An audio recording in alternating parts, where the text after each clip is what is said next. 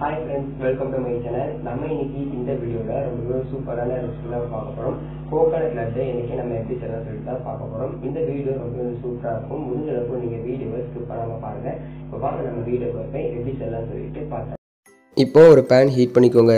இதில் ஒரு கப் அளவு சுகர் வந்துட்டு சேர்த்துக்கலாம். இது வந்துட்டு பார்த்தீங்கன்னா ஒரு நூற்றி ஐம்பது கிராம் அளவு இருக்கும்.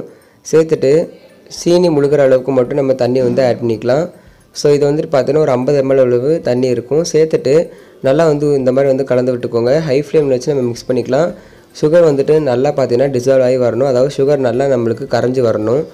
பாருங்கள் சுகர் நல்லாவே வந்து கரைஞ்சிருச்சு. நல்லா தண்ணி வந்து கொதிச்சு வந்துடுச்சு. இந்த ஸ்டேஜில் பார்த்தீங்க அப்படின்னா முந்நூறு கிராம் நம்ம முந்நூறு கிராம் அளவு திருப்பி வச்சுருக்க ஃப்ரெஷ்ஷான கோகோனட் பவுடர் வந்து இதில் வந்து சேர்த்துக்கலாம். நீங்கள் இதுக்கு பதிலாக டெசிகேட்டட் கோகோனட் பவுடர் கூட நீங்கள் வந்து சேர்த்துக்கலாம். நீங்கள் ஃப்ரெஷ்ஷாக ஃப்ரெஷ்ஷாக செய்யும் போது இந்த லட்டு வந்து நல்லா வாசனையாகவும் நல்லா டேஸ்ட்டாகவும் இருக்கும். இதே நீங்கள் டெசிகேட்டட் கோகோனட் பவுடர் யூஸ் பண்ணும்போது அந்த ஃப்ரெஷ்ஷான வாசனை பார்த்தீங்கன்னா இருக்காது.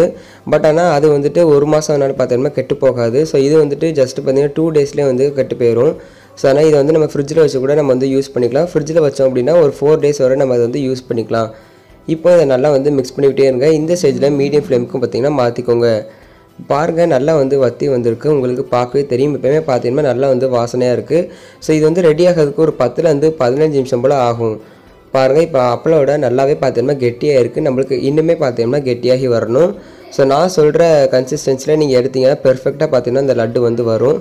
ஸோ பாருங்கள் இப்போ பார்த்தீங்கன்னா எப்படி இருக்குன்ட்டு. ஸோ இதுதான் வந்து கரெக்டான கன்சிஸ்டன்சி பாருங்கள் நல்லா வந்து கெட்டியாகி வந்துட்டு ஸோ இந்த சுகர் சிரப் எல்லாத்தையுமே இந்த கோகனட் வந்து நல்லா வந்து அப்சர்வ் பண்ணிக்கிட்டு ஸோ இந்த ஸ்டேஜில் ஸ்டவ் ஆஃப் பண்ணிவிட்டு இது வேறு ஒரு பிளேட்டுக்கு ட்ரான்ஸ்ஃபர் பண்ணிக்கோங்க.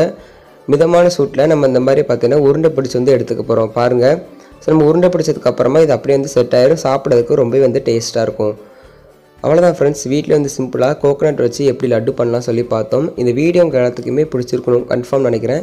ஸோ அந்த வீடியோ பிடிச்சிருந்துச்சி அப்படின்னா மறக்காமல் உங்கள் ஃப்ரெண்ட்ஸுக்கு எல்லாத்துக்குமே ஷேர் பண்ணிடுங்க மறக்காமல் நீங்கள் நம்ம சேனலையும் சப்ஸ்கிரைப் பண்ணிக்கோங்க. இது போல் வீடியோஸை மிஸ் பண்ணாமல் பாருங்கள் ஸோ நம்ம சேனலில் தொடர்ந்து பார்த்தீங்கன்னா புது புது வீடியோஸ் அப்லோட் பண்ணிகிட்ருக்கோம் இருக்கோம். ஸோ அதை பார்க்கணும்னு நினச்சிங்கன்னா மறக்காமல் இன்னும் சப்ஸ்கிரைப் பண்ணிக்கோங்க. ஸோ மறக்காமல் இந்த வீடியோ எல்லாத்துக்குமே வந்து ஷேர் பண்ணிடுங்க தேங்க்ஸ் ஃபார் வாட்சிங்